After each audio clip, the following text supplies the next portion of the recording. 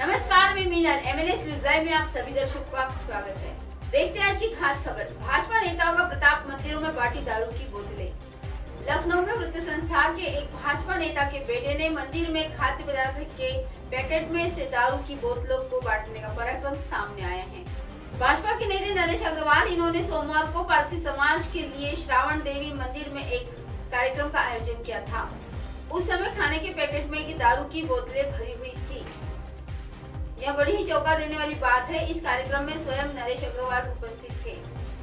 उत्तर प्रदेश के हरदोई की यह घटना है। यह सारा खुलासा, फ़ोटो और वीडियो सोशल मीडिया पर वायरल होने से सामने आए हैं।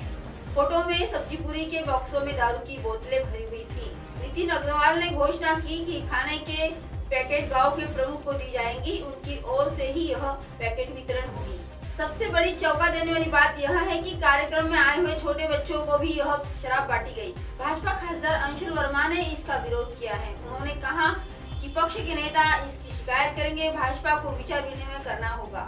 आखिर कौन है नरेश अग्रवाल? उत्तर प्रदेश में हरदोई जिला के रहवासी नरेश अग्रवाल सात बार आमदार रहे हैं। उनके बेटे ने अखिलेश सरकार में मंत्री पद हासिल किया है। अड़तीस सालों की राजकीय कार्यकाल में नरेश अग्रवाल इन्होंने चार बार पक्ष बदला है।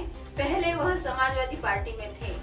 मार्च 2018 में उन्होंने भाजपा में प्रवेश किया। खाने के पैकेट में दारू की बोतलें बांटने वाला इन्हीं का बेटा नितिन है। तो देखते रहिए खास खबर। एमएनएस न्यूज़ के साथ। एमएनएस न्यूज़ की खबर देखने के लिए आज प्ले स्टोर से एमएनएस हिंदी ऐप डाउनलोड करें और हमारे चैनल को सब्सक्राइब करें। तब तक के लिए धन्यवाद।